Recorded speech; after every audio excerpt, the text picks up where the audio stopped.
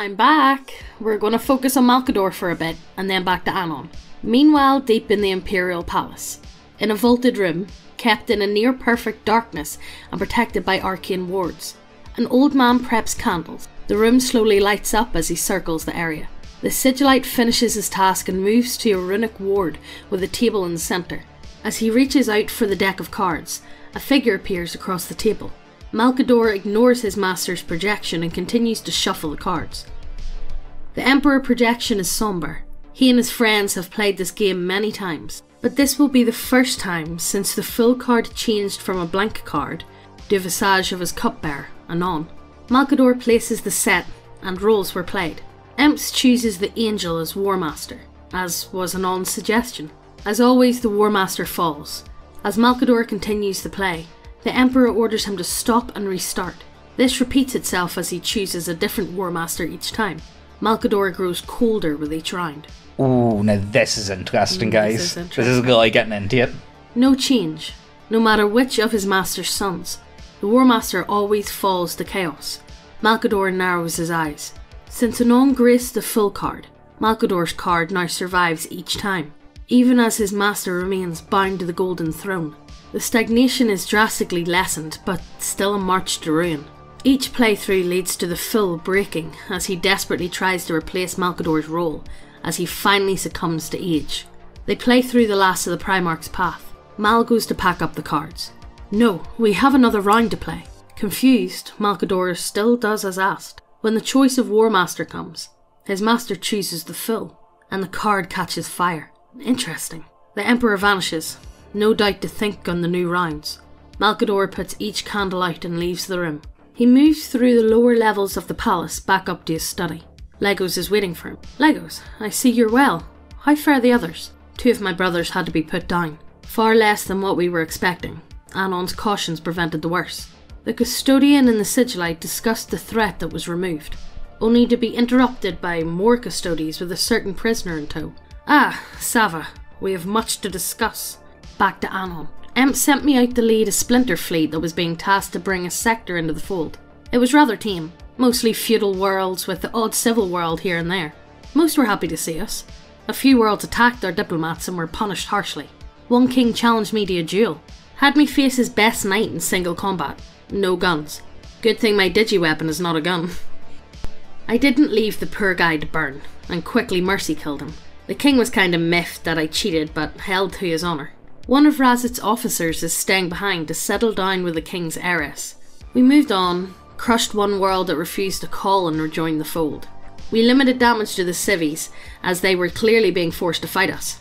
As in, literal slave collars. Once we took down the tar network, keeping the collars working, the leaders got Order 66 by their slaves. We left behind the Imperial Fist attachment we had with us, as this world needs it more than us right now. I have directed several worlds to prep food aid to be shipped to help. It felt really good to put those fuckers down. I oversaw some basic charters, mostly sticking basics. I made one civil world the sector capital, mostly because they actually had a starport and a history of peaceful trade in the area. We headed back to the main fleet, which was currently beating the fuck out of a minor orc empire. Emps was chilling watching an orc world be bomb cleaned. I joined him, offered him a drink, and sat in a nice chair. He accepted the glass, but was focused on the world below us. The floor in his deck was a see through crystal. Looked like we were standing in the void over the world. Eventually, Emps downed the glass, and we discussed the sector I brought into the fold. We were closing in on the Interrex and Horus, who was working out a deal with him. A nomad fleet had entered the talks as well. A group of humans and allied Xenos. I will admit, I did not trust the Xenos. I knew what kind of galaxy I was in. The aliens of the Interrex and this nomad fleet had long histories of working peacefully with humans, but it put me on edge, like I was open to a knife to the back. This planet was a trash heap. I was with Emps, planetside as Imperial forces hunted the Orc holdouts. The Greenskins had dug in and dug in hard. The mortal forces had this well in hand. As we cleansed each area, we would build fold fasts and clear areas for landing zones. Most of my work here was approving base layouts and settling tensions from the Imperial diverse forces, and overseeing the mass burning of orcoid bodies. Like, you gotta do it, you know. Fungus spreads rapidly. The last orc holdouts on this world are being finished off. This world is suckish now. but it is a nice location for connecting several sectors together. Because of this, we're going to leave behind a crack team to build this world up. This world will one day be rich from trade and will be a keystone for the Imperium in this region. Truly some good work. Angron sent word to us. The craft world that sent me an envoy have formally formed a coalition. Well, more like they agreed to agree to a coalition. The Eldar have approached Angron's warhounds to evacuate a maiden world with human colonists that have agreed to leave. Angron is asking Emps and I how to proceed. I'm at a loss. The idea that the Eldar would properly organise and send a proper diplomatic team to deal with such an issue confused me. I know the Eldar could be diplomatic, but they were always underhanded. This was them forming a possible long term collective of craft worlds and trying to keep the Imperium peaceful. I will just have to trust Emps on this. Emps agreed to the Eldar's request. Angron was tasked with overseeing the worlds, two million colonists relocated to three frontier worlds. In return, the Eldar have agreed to help defend those three frontier worlds, and agreed to further talks with the Imperium once they formalised their coalition. We went about our tasks of running the fleet. I had to put down a riot on one ship when two regiments started arguing. It started with heckling, then yelling matches during meals, then fist fights in the halls to full on brawls between regiments. I had the general in charge of overseeing those regiments reprimanded and had each regiment reassigned to different ships. I had marks added to each CO's records and had one trooper flogged. Fucker threw some fruit at me. Okay then. I finished dealing with the bullshit and settled some matters with my scribes and staff. My suite called me. The siren of sleep called. As I approached my room, I noticed something off. I signal my custody guards to send word to the Sunny Dogs. One of the custodies go in first, then waves me in. I do in fact have visitors. Konrad and some Night Lord captain I don't know. Konrad came by to pass a warning. The Cabal is gunning for me. I kinda guessed that. The latest Cabal agents Konrad faced had files on me that were strange. They knew I was a reincarnate from Terra, but they somehow found a bunch of old videos and thought I was the generic protag from Ezekiel. Ezekiel. I thought these guys were meant to be smart. They also showed me some videos of some new Xenos they fought. Fuckers looked like mini Cthulhu clones. That was worrying. Also had what looked like Hrud with them. The 8th were pretty sure they were scouts of some kind. Konrad did not take my answers well and stormed out to speak with his father. I chatted with the captain for a bit. After a bit, I explained I need to sleep and offered to talk later. I woke later to a maid tasked to get me for a meeting.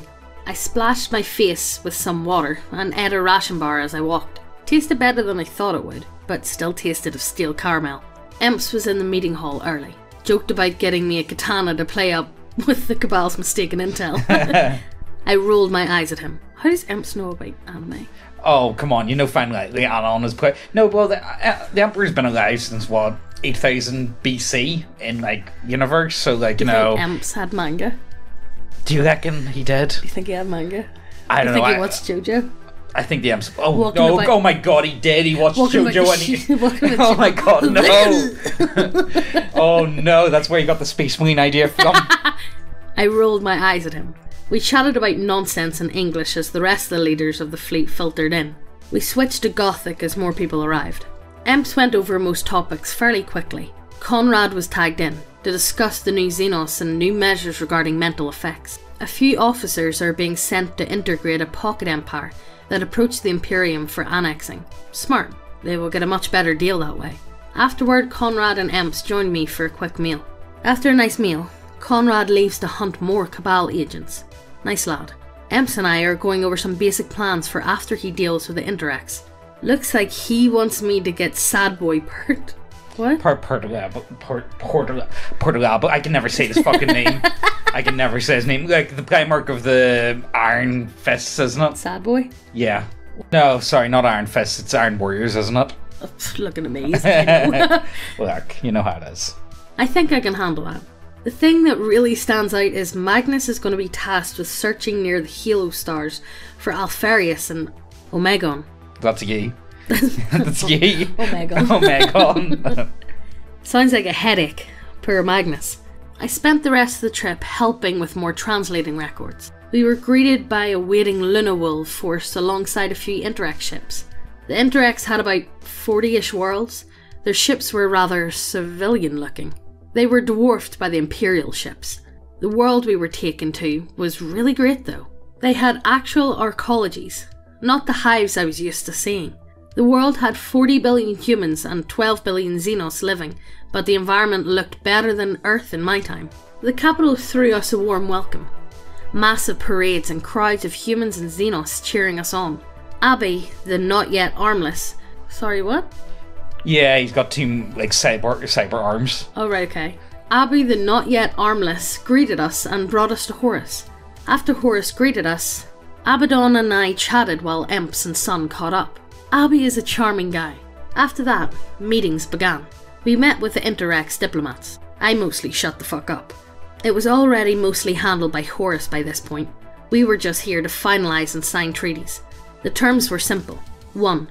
The Interrex and their civilians, humans, and Xenos would be protected by the Imperium. 2. The Imperium and the Mechanicum would be granted access to the Interrex STC archives. 3. The Interrex would be allowed self rule as long as they followed the ban on AI and allowed the black ships to do their duty. There was more, but that was the simple version. That sounds pretty fair to me, be honest Yeah. with you. That's not bad going. We met with the Nomad fleet next. They wanted to settle a series of worlds and wanted protection. Emps allowed this, on certain conditions. The Xenos allies would be left alone, but restricted to the sector they would be forming with the Nomad humans. They also had stockpiles of special materials and minerals that were rare as fuck. Those were to be handed over. Meetings with both the Nomads and the Interrex went on for a while. Emps has decided to oversee the STC archive data transfer personally. I was being sent off with Luna Wolves, Emperor's Children and Ultramarines detachment.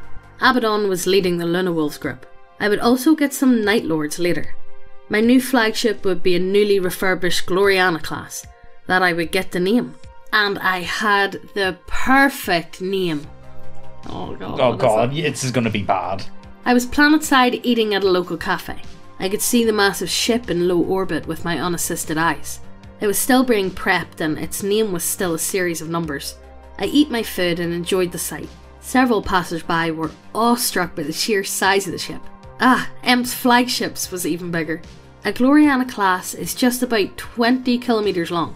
Emp's ship was well over 30 kilometres. In a few hours, I would be granted a tour of my new digs, the Ally of Justice. Oh, that's not too bad. That's actually pretty good. I thought like it was that. going to be something whack. I thought it'd be like meet this gawk, meet this beast or some shit. You know what I mean? Hey guys, this is just a quick bit of promo. We got our website up and running and we have a massive restock on most of the models. However, one of the cool things about the website is if there's a model that you're waiting on, you can enter your email and be put on a waiting list. And it's not just good for you, so then you'll know when they're restocked. We can also see what you guys are waiting on and what we should be printing. so, either way, the models are by far the best way to support this channel and to help us do videos that YouTube would find inappropriate on the platform. And like, let's be serious, the models are pretty based looking. So, once again, just look at the titties. Look at the lizard titties. but anyway, let's continue on with the video. Anon, your fleet has been delayed. I pause from my meal. Emps and I are eating at a very nice establishment. Horus and his current Mournival are eating with us. Good news or bad news? I asked. He chuckles. The first. I have confirmed the lion's status. Caliban should be cleansed any day now. I want to rally the First Legion's main elements to your fleet and detour to reunite them with their father. I whistle. Damn, the First Legion is huge at this point. Well over 230,000 Astartes. This would put me in charge of the largest fleet outside of the Sol Home fleet. We returned to our meal. Horus told me about some grey look-alike species while I finished my meal. I was chilling in my room in the new Imperial Embassy. I was trying to just relax and pleasure read before I was swamped in fleet paperwork and politics. Problem was the Interrex elite kept trying to invite me to such and such or get me to listen to some political spiel. I tried not to be an ass, but I was quickly reaching my social limits. Seemed like every socialite and bachelor wanted to be my friend. Like, come on here. If there's one way to get like into the Emperor's ear, Yeah. like you know, that's not like a weird superhuman warrior. That's fucking like, you know what I mean? Like, Yeah. you know, you're not going to be make make friends with many space marines. Let's be serious. Seems Horus and Imperial Media really have talked me up, even with my history of xenocide. I was well liked by the Interrex population. Seems like they like how a normie human like me has risen so far. Same.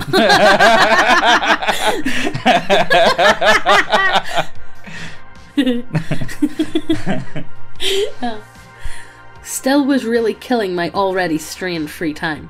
Damn it, I just want to read something fun for once. Emps talked me into attending an Interrex talk show. Well, more like Emps told me I was booked. I whined, then Horus and boys hauled me off. Horus and I entered from backstage and greeted the weird host.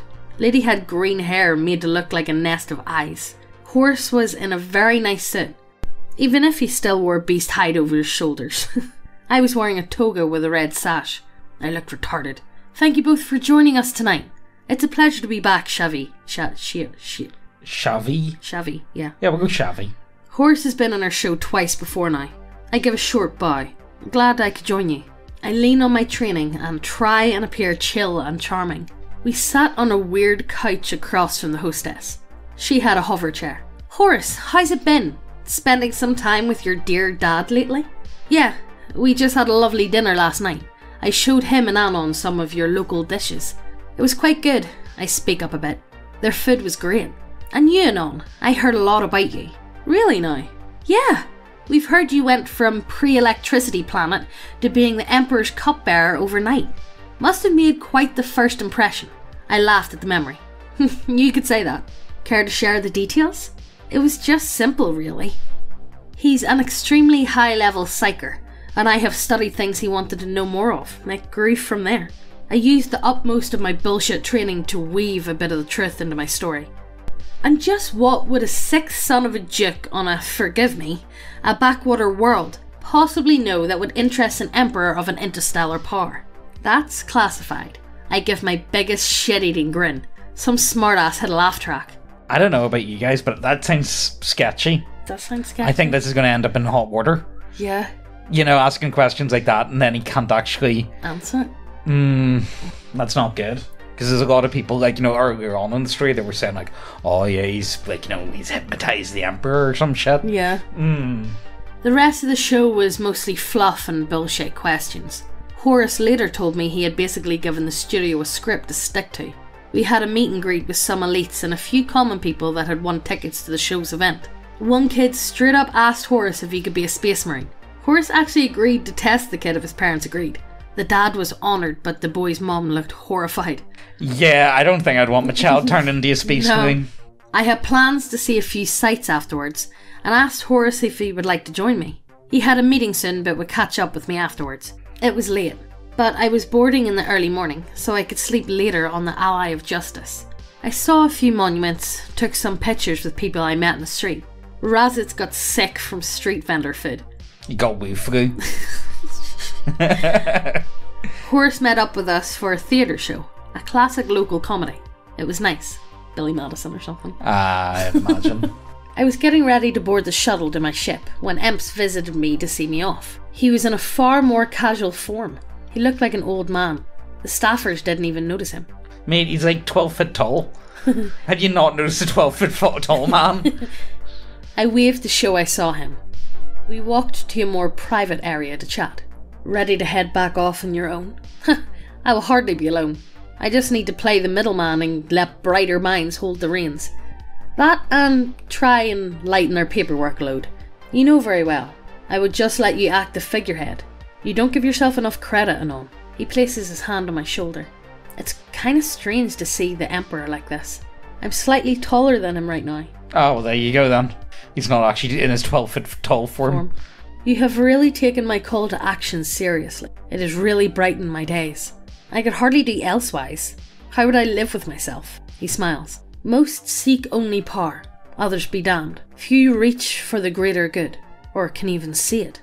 I chuckle at the greater good bit, reminded me of the Tau. Emps clearly reads my thoughts. Are they worth the effort to uplift? Right now?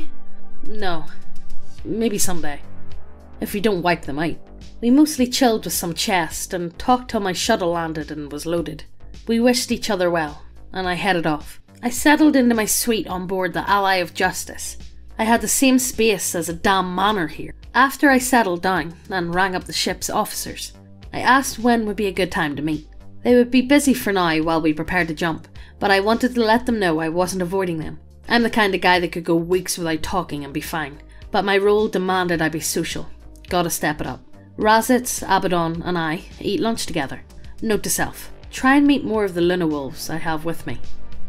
The plan was to meet up with the elements of the First Legion as we went, take some planets as we headed to Caliban, pick up the Lion and set Caliban under the First Legion's direct rule. Then go find Pert and stop him from being salty all the time. Should be fun. I'm sorry, I'm just not into Perturabo at all. He's not. Uh, he's not a Primarch that I find interesting. no. I what me I, to- I don't fucking know. Yeah, well, you know. After we were mid jump, I called a general meeting for the fleet leadership.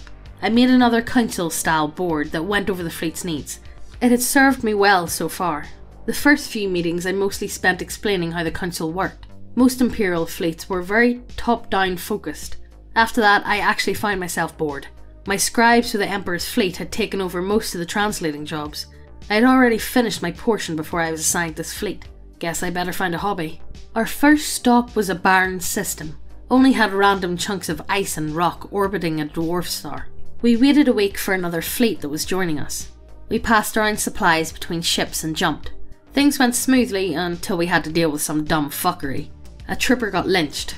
He was some Chad type sleeping with any willing lady. Some Chad type. His last hookup was another trooper's wife. Ooh, that's going to end badly for anyone. The cuckolded tripper and his new friends threw the man whore out of the airlock, mid warp. Ooh, that's a horrible death. The area of that ship is now cursed. You can literally hear the poor guy's screams when the lights are off. One of the friends turned himself and his fellows in. He told us they were only going to rough him up, not throw the offender into the warp. The cuckolded tripper was shot by firing squad for murder. His friends were assigned to penal regiments. That may as well be a death sentence, let's be Yeah. serious. The wife that cheated on the tripper just joined one of the officers' harem. This was fucking stupid. Things calmed back down a bit. We find a habitable world, not on our charts. We had it added and set up a few settlements. Planet was a colder world, massive ice caps, lots of Falkland type islands. A few regiments from Ice World were happy for the land grant. I named the world Fuel, and we moved on. We came across a stranded ship in one system. The ship had to throw their warp engine into the star as it started to fail. The ship had been stuck in this system for over two years. They'd set up an actual farm on their ship. One of the crew had experience on treating soil and had basically saved their asses. The gal literally saved the crew of 20,000 people. We took them with us. A delay held us back. A pocket empire of beast folk. They had conquered their planet some time back and wiped out the remaining humans. They had managed to get ships from an old Federation vault and were ethnic cleansing the human world in this sector. Six human worlds were occupied and the local humans being worked to death in camps. We hit them like a hammer. We had several beast folk detected before fighting even broke out. Seems that the current beast folk leadership was unpopular. Once we had the area under control, we exiled the defectors to Frontier World. The rest of the beast folk were wiped out. That's actually a pretty good deal. like, that's genuinely nice of them. For the, em- uh, for the Imperium, that is, anyway. Rebuilding the sector took a while. We started having First Legion elements joining us over time. While rebuilding an Agri World, just called 3GK, I was asked by the PG if I could relocate some of his people. The world was just not able to house them all right now, as most of the habitats were scrap heaps. I agreed, of course. When the refugees arrived in the fleet, I was stunned. Turns out the PG was from a reform faction that ousted the nobles and let the world get conquered. The refugees were not farm staff that knew how to settle a world, but nobles. Their families and harms that have never worked a day in their life. They had hid in bunkers while their people were butchered. What was I going to do with a bunch of posh gits and their bed warmers? I had every exile tested for skills and assigned quarters. Several complained I was mistreating them. I told them if they didn't work, they would not eat. Many of the harm girls quickly found new patrons. Asked to work for me, I gave them maid jobs. The children of the exiles were given classes. If the end of this series doesn't end with Cupbearer getting his hole, I'll be so sad. I think he has got No, his he whole. hasn't. Has he not No. still? No, I'm pretty sure they dragged him off to a whorehouse at one point. Yeah, but he didn't do anything. Yeah. Cupbearer deserves a bit of sex at this point. Things were calm for a while, but busy. I oversaw a lot of settlement rebuilding. integrating local structures into imperial standards. My new maids kept causing issues with my old staff. One maid didn't take no for an answer and tried to blackmail me into taking her to bed. One of the custodies cut her down right there. That caused me even more paperwork. The maid's death was pretty dumb, but it stopped a lot of the bullshit. Her blackmail wasn't even that bad. Just her threatening to spread rumours of me being a eunuch.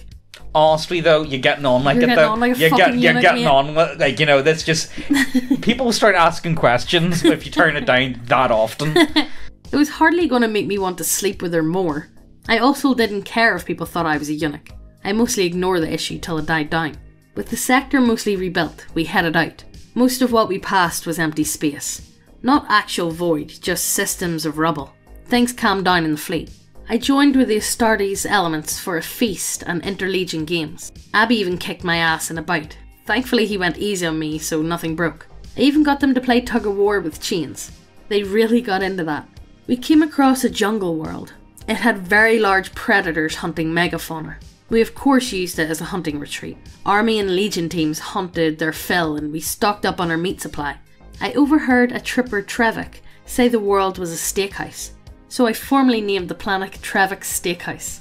Honestly, that's what it would end up turning into for me. If I was put in this situation, eventually the planets are going to get silly names. yeah. Eventually, it's going to happen. Eventually, it's going to like, oh yeah, that's uh, that's a Gobby McGob over there. You know what I mean, like the Booty McBoatface, or Planet McPlanet Face. yeah, exactly. That I know. Planet McRoundbody. yes. I got spooked a bit. I was approached by a watcher in the dark while minding my own business. I have no idea how it got on ship mid warp, and I don't want to know. It asked me to delay my fleet a few days, warning that something was trying to ambush us soon. I thanked it for the warning and called a crisis meeting.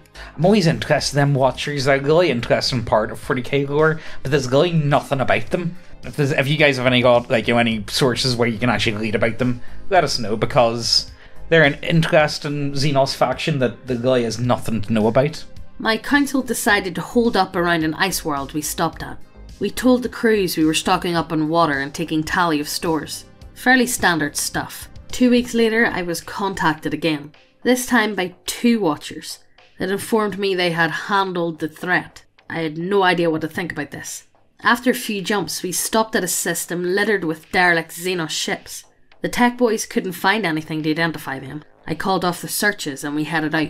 Abaddon didn't take this well and insisted I have at least a squad of marines with me at all times. Honestly, that's not a bad idea. Let's be serious. Lagos isn't about. Yeah. You guys should have something.